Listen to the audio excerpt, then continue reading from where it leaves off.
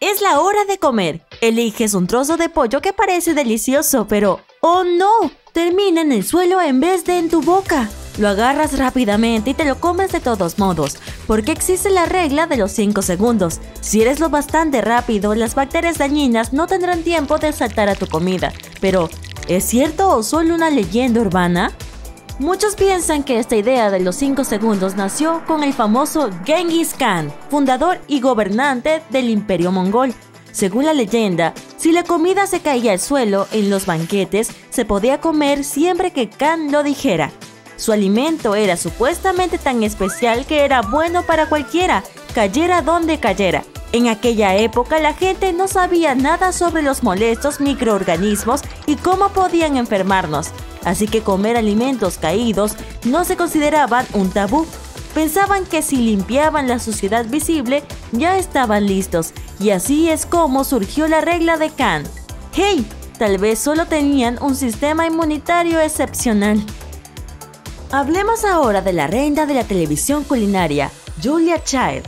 Mientras preparaba apetitosos platos en su programa The French Chef, algunos espectadores afirmaron haber visto cómo se le caía el suelo cordero, pollo o incluso pavo. Pero en realidad lo que había caído al suelo era una tortita de papa. Para divertirse un poco en la cocina, Julia dijo, siempre puedes recoger lo que se cae, y si estás sola en la cocina, ¿quién lo va a ver? Así de fácil, la mal recordada historia pasó a formar parte de la cultura popular. En la vida real, cuando la comida se cae al suelo, es como un imán para las bacterias. Ese trozo de pollo está destinado a recoger a algunos pasajeros microbianos no deseados. No puedes desinfectar tu comida como harías con tus manos. En cuanto a la regla de los 5 segundos, no es tan sencilla. Algunos alimentos tienen más posibilidades de sobrevivir después de una caída. Investigadores de la Universidad de Rutgers descubrieron que la humedad, el tipo de superficie y el tiempo de contacto influyen en el grado de contaminación cruzada. Los alimentos con altos niveles de humedad, como una jugosa sandía, son los mayores culpables de la contaminación. Esto significa que atraen más bacterias que cualquier otro alimento. Además, no todos los entornos y superficies son iguales. En el experimento, la alfombra presentaba un índice de transferencia bajo, el acero inoxidable y la madera tenían tasas de transferencia más altas. En un estudio diferente, los investigadores pasaron un hisopo por los suelos de la Universidad de Illinois en el laboratorio. El pasillo, el dormitorio y la cafetería para ver cuántos organismos podían encontrar. Les sorprendió hallar muy pocos. Probablemente se debía a que la mayoría de las bacterias maliciosas como la salmonella, la listeria o la E. coli no pueden sobrevivir sin humedad y los suelos estaban todos secos, pero incluso en superficies secas y estériles, los gérmenes se trasladan a las galletas y a las gominolas en menos de 5 segundos en el caso de algunos alimentos, la transferencia tarda menos de un segundo en iniciarse, así que, después de todo, la regla de los 5 segundos no es válida. Es más bien una leyenda urbana y un truco psicológico que te juega la mente. Los psicólogos experimentales explican que, a la hora de tomar decisiones, los humanos no siempre hacemos un riguroso análisis de riesgos y beneficios. No, confiamos en los fieles compañeros de nuestro cerebro, llamados heurísticos. Estos pequeños atajos nos ayudan a tomar decisiones a la velocidad de rayo basándonos en la información que tenemos a mano. Sin embargo, a veces estos atajos pueden llevarnos en la dirección equivocada, como en el caso de los gérmenes. Son pequeños alborotadores invisibles y la comida es real y valiosa. Así que cuando se te cae un trozo de comida al suelo, por ejemplo un M&M de cacahuate amarillo, tu cerebro dice, oye, no veo ningún germen, así que debe ser seguro agarrarlo.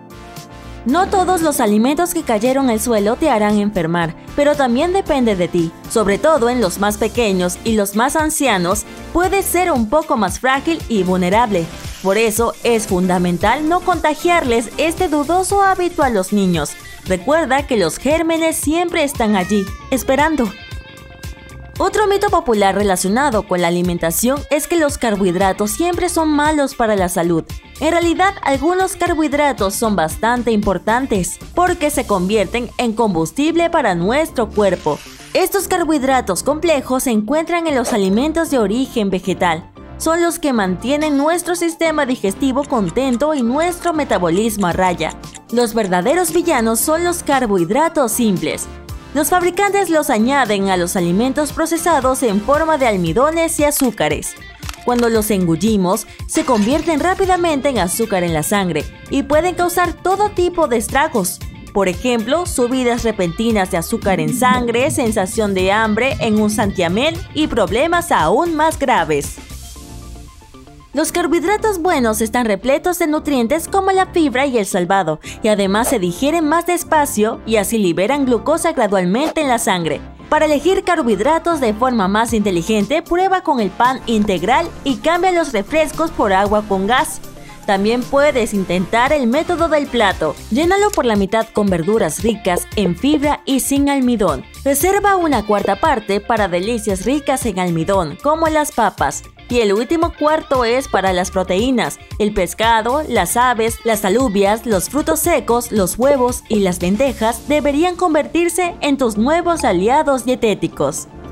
Ahora bien, las frutas y verduras congeladas o enlatadas no son inútiles, como se cuenta.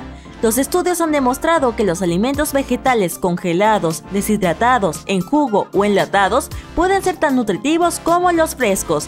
Solo hay que tener cuidado con los ingredientes añadidos, como azúcares, grasas saturadas o sodio. Las altas temperaturas durante el proceso de enlatado pueden hacer que algunas vitaminas como la C y la B se vean afectadas. Pero esas vitaminas son sensibles al calor y al aire en general, por lo que podrían desaparecer incluso durante la cocción y el almacenamiento habituales en casa. Algunos alimentos enlatados como los tomates y el maíz liberan más antioxidantes cuando se calientan. ¿Has probado alguna vez añadir apio a tu dieta solo porque se supone que comerlo quema más calorías de las que ingieres? Los expertos afirman que los alimentos con calorías negativas no son más que una idea fantástica. Claro que el proceso de masticar y digerir el apio quema algunas calorías, pero no una cantidad significativa. Una buena rama de apio puede contener unas 10 calorías, pero el cuerpo solo utiliza una quinta parte para procesarla, por lo tanto sigue ganando calorías. Por otra parte, es poco probable que sobreviva solo a base de apio y suele ser una puerta de entrada a alimentos más sabrosos como el queso fresco o la mantequilla de cacahuate. Dímelo a mí. Sin embargo, las frutas y verduras ricas en fibra y agua, como el apio, pueden ser muy útiles para perder peso. Llenan el estómago y aumentan la sensación de saciedad, evitando que te atiborres de más calorías más tarde, pero no quemarán por arte de magia las calorías que ya has consumido. Algunas personas afirman que ciertos alimentos o bebidas hacen que el cuerpo trabaje más. Por ejemplo, el cuerpo necesita calentar el agua fría hasta alcanzar los 37 grados centígrados. Pero no hay ninguna investigación sólida que apoye la idea de que los bebedores de agua fría queman muchas más calorías. Tal vez unas míseras 5 calorías si tienes suerte. La cafeína, la guanina, la taurina y los extractos de té verde se han promocionado por sus propiedades para aumentar el metabolismo. Pero estamos hablando de un pequeño impulso que podría provocar la pérdida de alrededor de 4 kilogramos en un año. Así que parece que la mejor forma de mantener las calorías bajo control es consumir menos de las que se queman con el ejercicio, no solo con la digestión. El agua carbonatada no es peor que su versión sin gas. Cuando el dióxido de carbono y el agua se juntan, reaccionan químicamente para formar un ácido débil llamado ácido carbónico. Hace cosquillas en los mismos receptores nerviosos de la boca que la mostaza, por eso tienes esa sensación deliciosa y punzante. Aunque el agua carbonatada es un poco ácida, beberla no acidifica todo tu cuerpo. Los riñones y los pulmones se encargan de eliminar el exceso de dióxido de carbono del organismo, y no es terrible para el esmalte de los dientes. Según un estudio, el agua mineral con gas solo afecta ligeramente al esmalte dental en comparación con el agua sin gas y es 100 veces menos perjudicial que un refresco azucarado. Así que mantén tus bebidas burbujeantes sin azúcar y estarás sano y salvo.